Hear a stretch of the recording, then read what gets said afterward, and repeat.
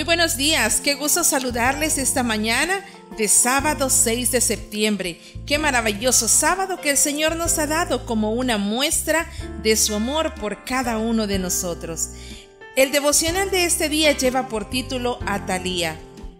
Cuando Atalía, madre de Ocosías, vio que su hijo había muerto, tomó medidas para eliminar a toda la familia real.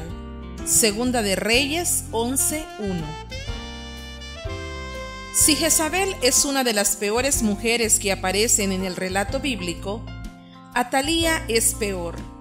Por querer el trono, ante la muerte de su hijo Ocosías, ella manda matar a toda su familia, y todo por tener el poder.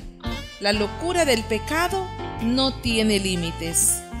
Atalía no mató con sus manos a sus familiares, lo hizo a través de otros eso nos lleva a pensar en la obediencia ciega que a veces ofrecemos a líderes que no la merecen y en que por más que sea difícil de entender, mucho menos de aceptar, hubo gente en el Palacio Real que apoyaba a esta mujer en el poder.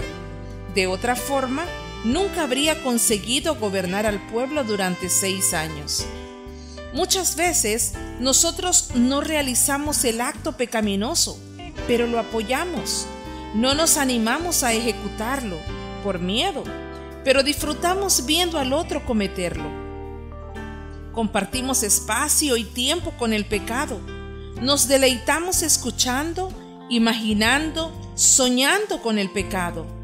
Obviamente, eso también es pecado Cristo nos enseñó en el Sermón del Monte que somos tan culpables como aquel que lo ejecuta. Cuando Joás era presentado como rey delante del pueblo, Atalía grita que fue traicionada. No podemos discutir que tiene razón, pero tampoco podemos olvidar que ella era una asesina. Esa reacción es tan humana. El error del otro es tratado con toda la severidad que nos parece que merece. Nuestro error ni siquiera es mencionado. Jesús habló de la paja en el ojo de tu hermano, justamente revelando este tipo de actitud. Cualquier error que el otro cometa será peor que el mío, por lo menos para mí, y será más digno de punición.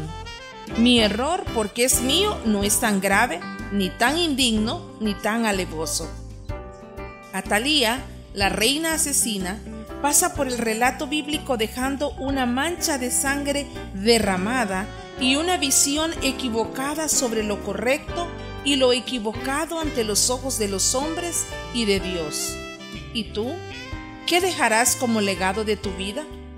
Podrías comenzar hoy reconociendo delante de Dios y de aquel que ofendiste que tu pecado es tan terrible como aquel error que te ofendió. Oremos.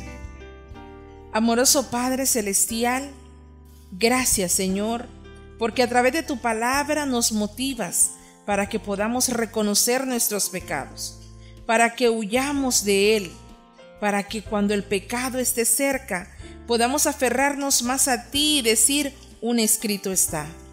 Ayúdanos a alejarnos, a no participar del pecado y a llamarlo siempre por su nombre pero sabemos que solos no lo podemos lograr.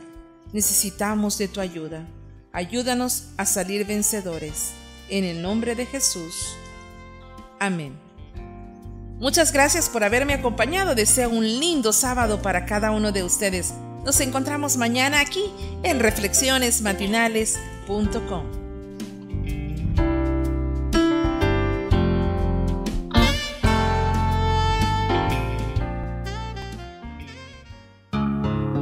Reflexiones matinales.